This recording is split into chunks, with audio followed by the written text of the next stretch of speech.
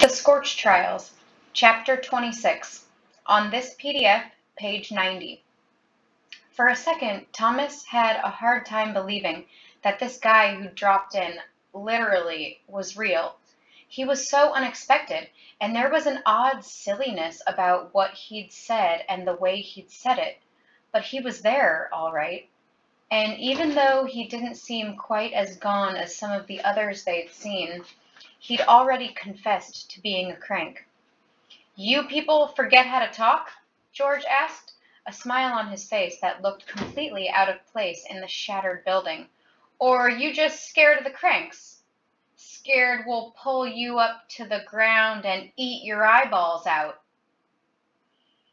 Mmm, tasty. I love a good eyeball when the grub's running short. Tastes like undercooked eggs. Minho took it on himself to answer, doing a great job of hiding his pain. You admit you're a crank. You're a freaking crank.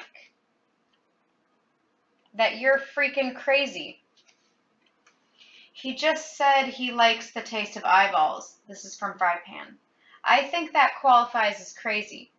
George laughed, and there was a definite tone of menace in it.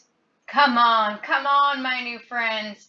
I'd only eat your eyes if you were already dead. Of course, I might help you get that way if I needed to. Understand what I'm saying? All mirth vanished from his expression, replaced with a look of stern warning, almost as if he was daring them to confront him.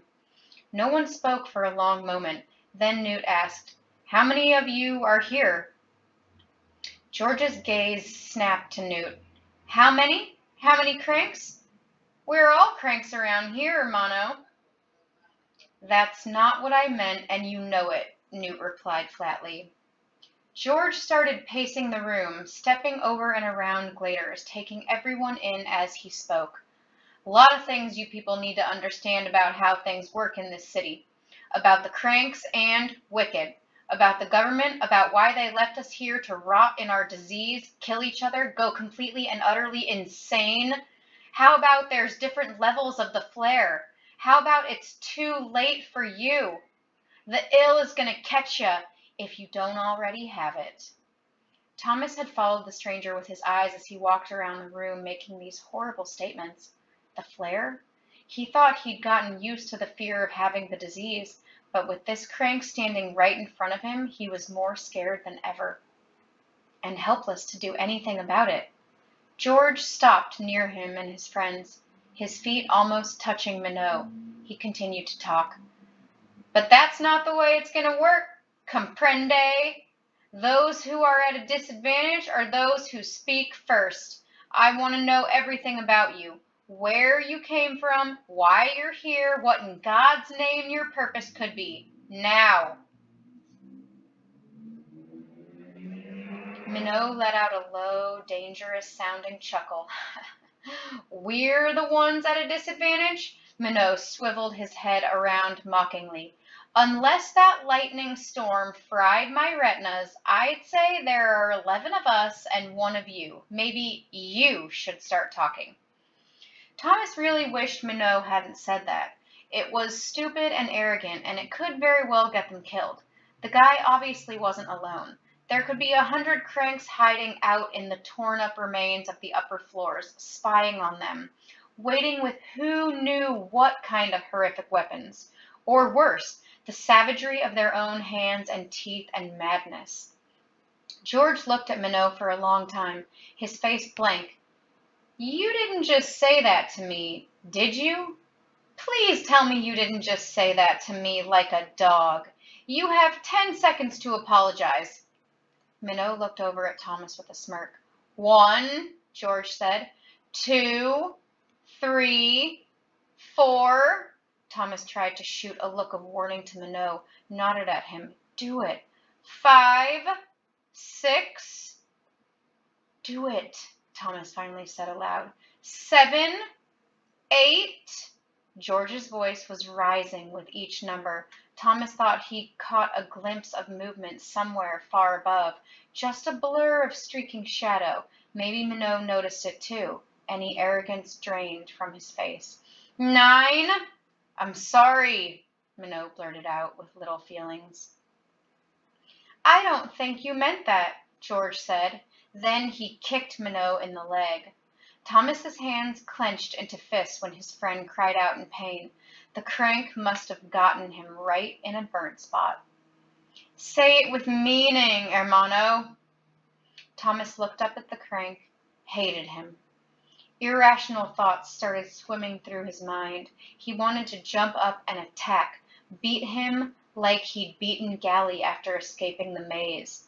George pulled his leg back and kicked Minho again, twice as hard in the same spot. Say it with meaning!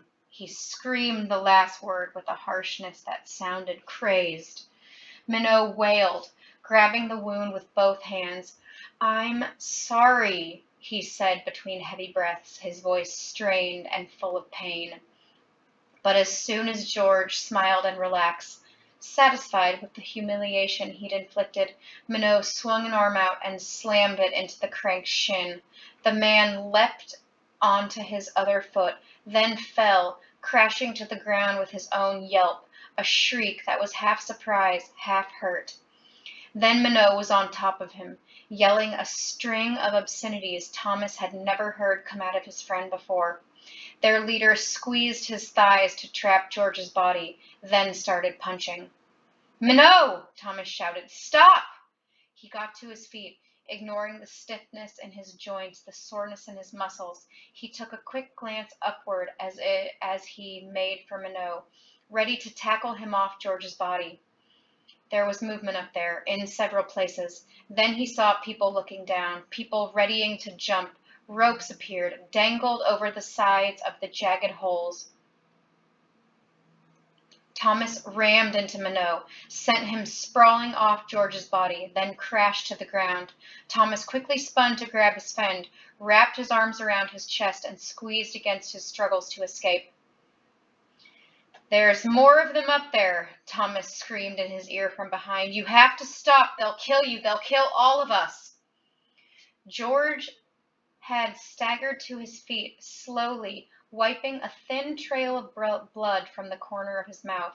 The look on his face was enough to ram a spike of fear straight through Thomas's heart. There was no telling what the guy would do. Wait, Thomas shouted. Please wait.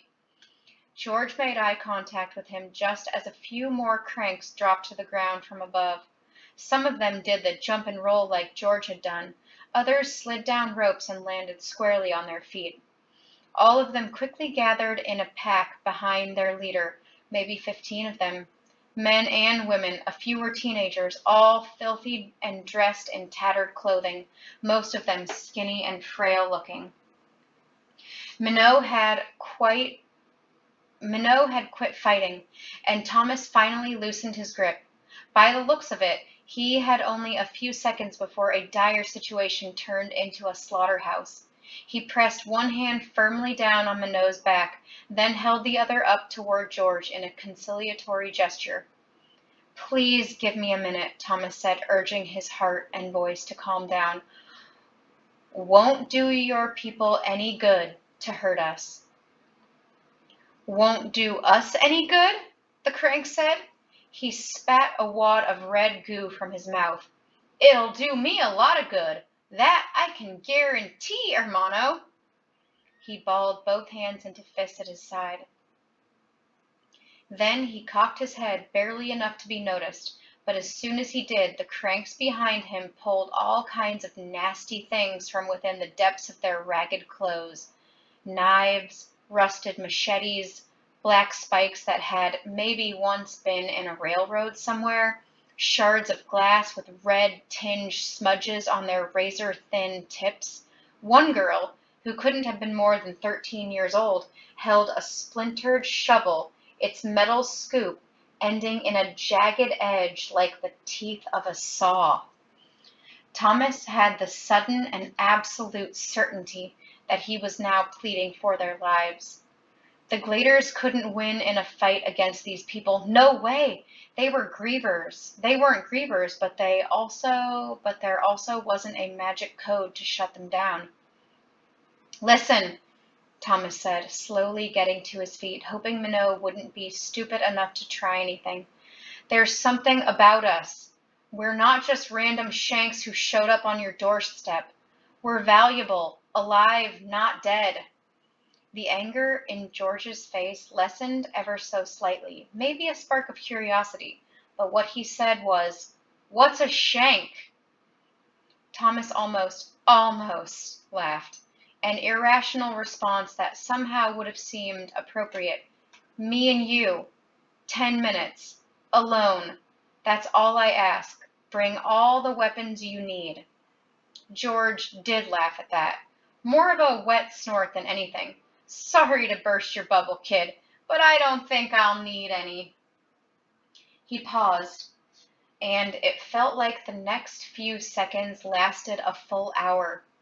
Ten minutes the crank finally said. Rest of you stay here, watch these punks. If I give the word, let the death games begin. He held out a hand, gesturing to a dark hallway that led from the room on the side across from the broken doors. Ten minutes, he repeated. Thomas nodded. When George didn't move, he went first, walking toward their meeting place and maybe the most important discussion of his life. And maybe the last.